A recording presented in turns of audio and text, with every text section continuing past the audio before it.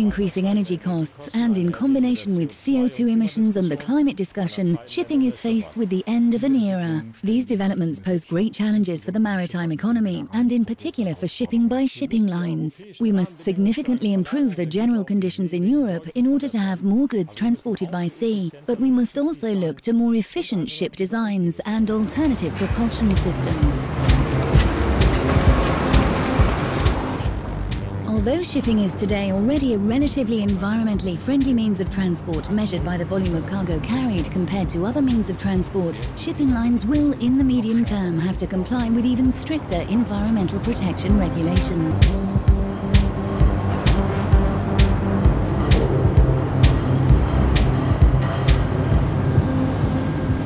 The circumstances to be expected in the future clearly mitigate in favour of sea transport, particularly with regard to relieving the burden on infrastructure and environmentally friendly transport procedures. From the point of view of sea transport, it must therefore be noted that the efficiency of sea transport will be an increasingly important parameter in the future. Otherwise, we face losing large volumes of goods to competing means of transport, primarily road transport, in line with the catchphrase, sea to road.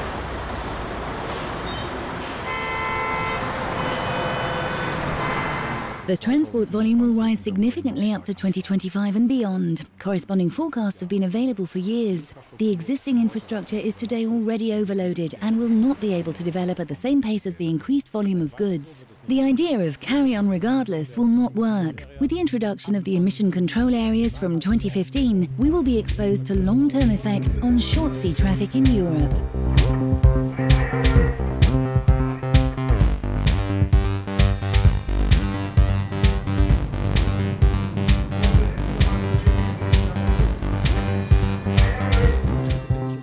Majority of ships currently in service, particularly in the short sea area, are well over 15 years old and therefore not designed to meet new environmental requirements. Consideration must therefore be given to the rejuvenation of fleets and alternative types of drives. Preference must be given in this case to ships with diesel-electric propulsion systems. With this technology, we are taking the next step on the way towards a completely CO2-neutral propulsion.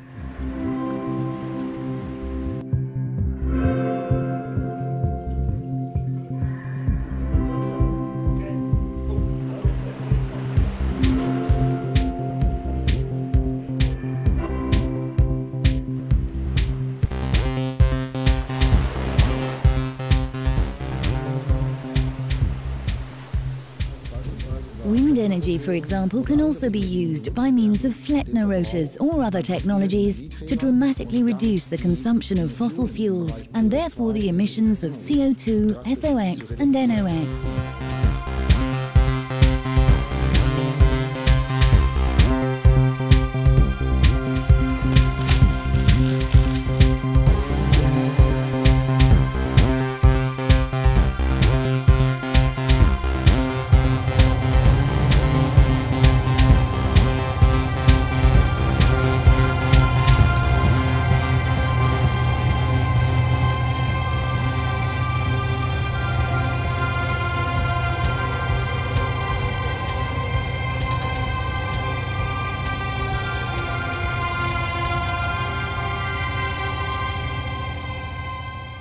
Meine Damen und Herren, liebe Zuschauer, das war ein von Arcon initiierter Film, der auf Fakten und einer klaren Vision aus dem Jahre 2011 beruhte.